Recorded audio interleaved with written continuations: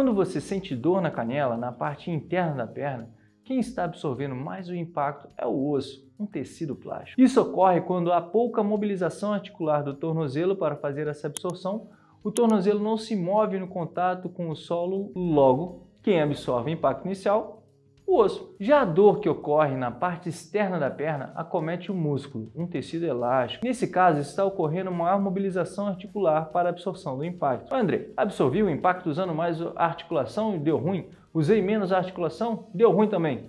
O que é bom então? Aí a gente retoma a questão do padrão de movimento da sua técnica de corrida. Ambos os casos de dor na parte interna ou externa da canela podem estar relacionados ao chamado overstride, que é aquela passada na corrida que começa crescendo bem à frente do seu corpo.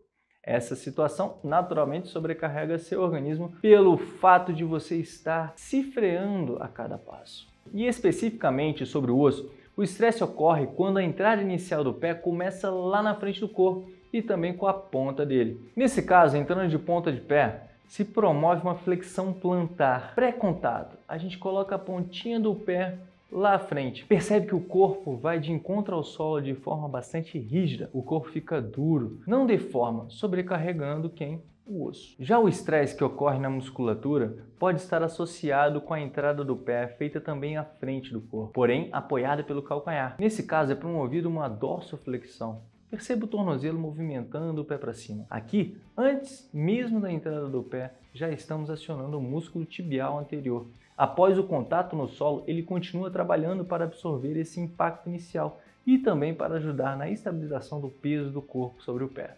Isso tudo gera um grande trabalho muscular.